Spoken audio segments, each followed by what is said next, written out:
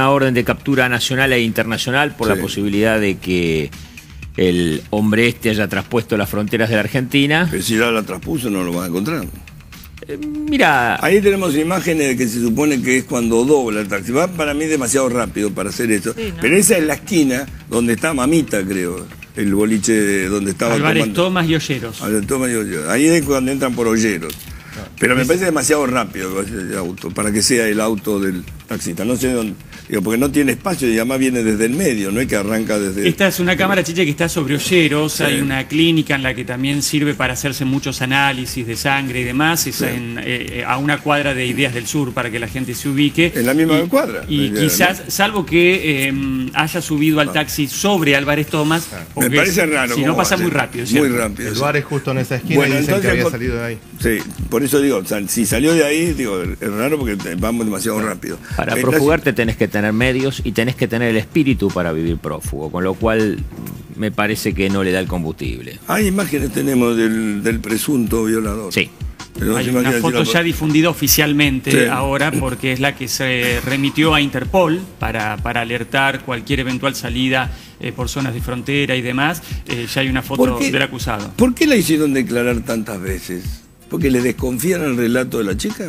No, no eh, entiendo, declaró en. declaró la sede policía, policial. Declaró entre el juez, declaró otra en la fiscalía. Ahí, ese es él. Sí, esta no es la foto oficial, esta es una que en su momento este, tuiteó, bueno, ahí está la referencia de, de Brasesco, eh, quien la en principio la dio a conocer, ahora hay ¿Quién otra es foto- Brasesco? Eh, alguien es periodista, creo, Es muy periodista. activo en redes sociales, eh, a veces tiene este tipo Ahí de está, esa primicias. es la foto oficial Esta es la foto oficial.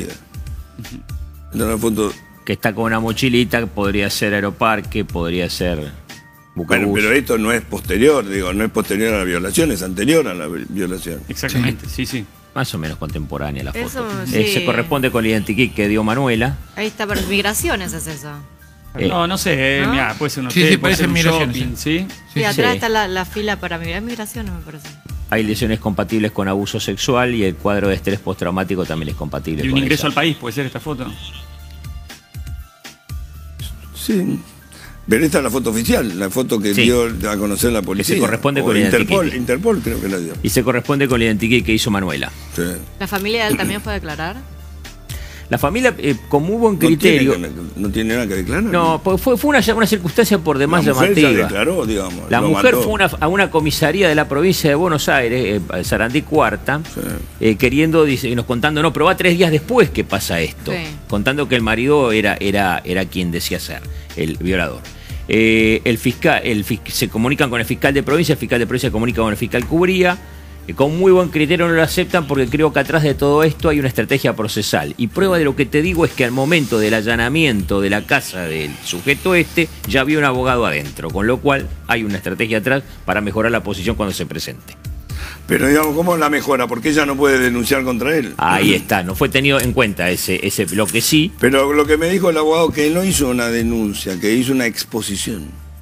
No eh, sé si jurídicamente cambia eh, la una historia. exposición civil muy llamativa, por cierto. Porque dice, si no hizo una declaración, hizo una exposición. Si no sabíamos, el doctor Soto, que, que me acompaña en esta querella, estaba en el juzgado, no conocíamos del allanamiento y el abogado de, de- de provincia ya sabía de, la- de que, que se, se acercaba la fuerza policial. Ubiña, un tal Ubiña. Ouviña. Muy llamativa la circunstancia, pero más tarde o más temprano Ahora- se sospecha que está sobre la 1114 el hombre. Eh, Quería eh, marcar un hecho que me llamó la atención. El otro día, el sábado, también lo hablaba a la mañana, eh, acá, sobre la cuestión de que habrían encontrado un ticket de. Sí, lo vimos eh, acá, lo vimos en lo habíamos, lo habíamos visto acá. Del 20 del 20 de abril. Del 20 de abril. Eh, eso no habla de una falla en la investigación, de que no se buscó, lo plantaron, es para embarrar. eh, Es para embarrar, está plantado, es un preservativo en la Pero es la chapa del auto.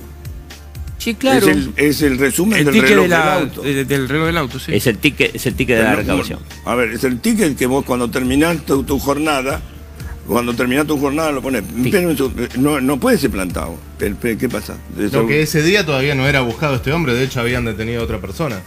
Está bien, pero era buscado ya. Se Sí. suponía que, no sé. Ahora, espera que volvemos que está Gonzalo Carnevale en el móvil. Gonzalo, ¿qué pasa, hijo?